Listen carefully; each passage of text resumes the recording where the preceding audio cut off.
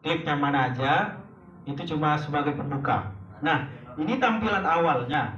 Teman-teman kalau misalnya ini adalah tampilan untuk install versi yang aman aja.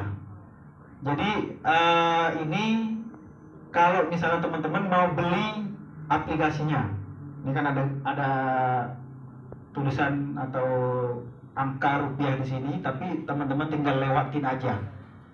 Itu kalau misalnya mau lebih ke profesional tapi itu sudah pro.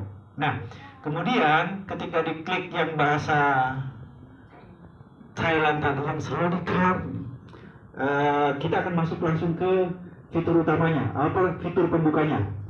Nah di fitur pembuka itu ada tampilan yang kita untuk atau diajak untuk membuat project baru. Sama kurang lebih dengan kalau misalnya semalam uh, quick kita buat video baru di sini juga kita bisa membuat project baru. Nah yang sudah install